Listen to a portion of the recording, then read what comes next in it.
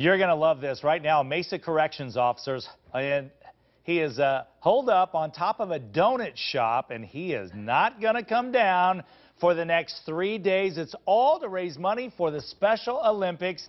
It's just excellent what he does because he's been doing it for years. So here we go in pink tutu and all. Officer John Risch up there on top of the Krispy Kreme in Mesa at Power and US 60. Uh, John, I love what you're doing. I'm sure you get razzed a little bit by your buddies, huh? You know, I do, but guess what? This tutu used to fit me, but you come up here on the roof, Scott, it's yours, baby. I'll let you wear it. I And love- have- I actually have an extra pink shirt for you to wear. I love that. Uh, so, uh, you know, Special Olympics, we love that organization. Why, why them? you know, when I was a child, I was, uh, I had, I had epilepsy, and I was on a strong dose of phenobarbital as a child. And they actually, I hate this word, but they called me borderline mentally retarded when I took the IQ test as a child.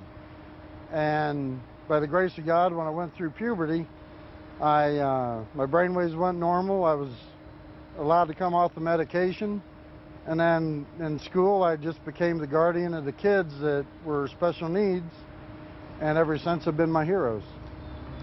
Well, John, that's just awesome. Um, what are the nights like up there? I can be a little chilly with just a tutu on.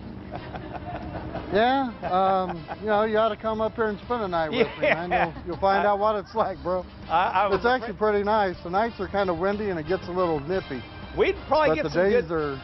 We'd probably get some good snuggling up there. Sure. Yeah, well, you know what? What makes it a little better is I can always ask them to bring me up some hot donuts. I know. I was going to ask you how many you go through, and then uh, real quick, how can folks donate to help out this great cause you've got going? Well, they can either stop by here at the event, and if they say we have no cash, well, by golly, we got the Square Card readers. We'll take credit cards.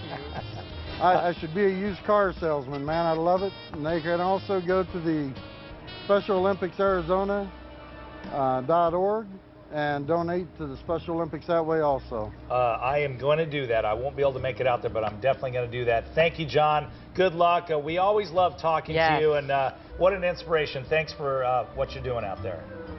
Well, hey, thank you, and I appreciate you guys coming out and uh, talking to me every year. Always. We love the addition of those hot glasses, too.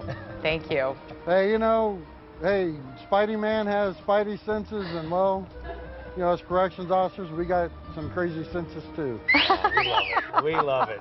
We absolutely love it. Thank you, Good John. luck. And there's there's your sexy legs, and, mm-hmm. you know, I gotta form. keep them white though. You know, I, I get called White Legs. That's my nickname.